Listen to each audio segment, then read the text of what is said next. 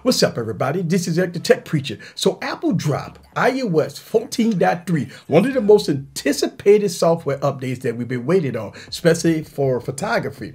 Uh, it has brought in what's called Apple Pro Raw. Now, Apple Pro Raw utilized the entire sensor that's on on your iPhone 12 Pro or 12 Pro Max. Now, what that does is it takes a DNG file, a DNG photo, which is raw, and then your uh, editing software, if you have Adobe Lightroom, or you can do light editing on the phone, or you can download Adobe Lightroom on your device and do full editing. So if you downloaded iOS 14.3, uh, you do have to do some prelims before you can shoot in RAW. Now, uh, you have to go to your settings, all right? And once you go into your settings, you have to scroll all the way down to your camera app, all right? And then once you open up the camera, you have to go to what's called formats.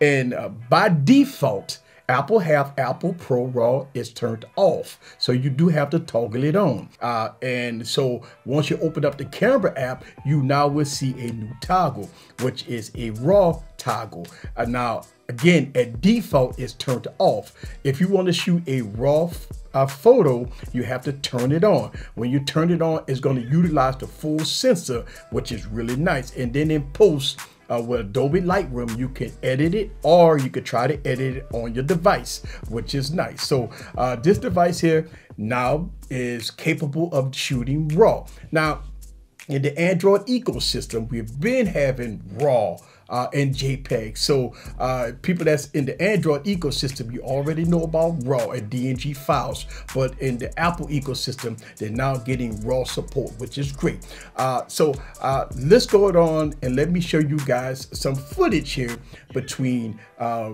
the JPEG file or RAW file that I edit in Lightroom also, I'm gonna give you some nighttime footage and I'm gonna give you a comparison between the Galaxy Z Fold 2 which I use raw on this device compared to the raw completely edited on the iPhone 12 Pro Max. Now again, you have to have the Pro models in order to get raw support. So after the video, I'm going to give you commentary uh, of what my thoughts about the iPhone 12 Pro Max using RAW.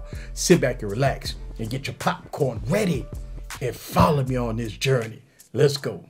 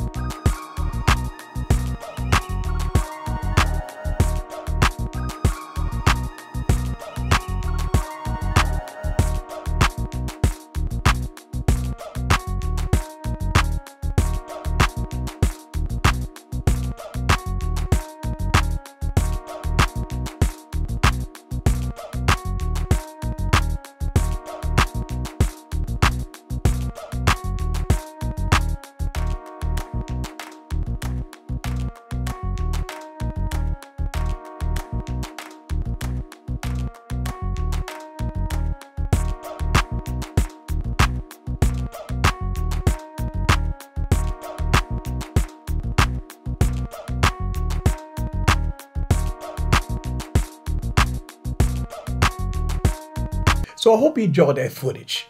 All right, let me give you some commentary uh, what my thoughts about uh, using this device in RAW. One of the things that I, I do want to express that uh, the Apple iPhone JPEGs is really good in the daytime.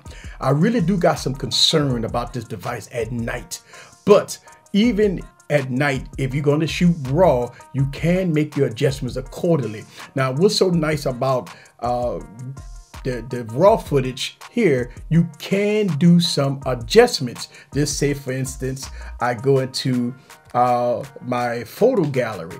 Once I go into my photo gallery, now I have, I see a raw sign at the top if I shot a raw footage.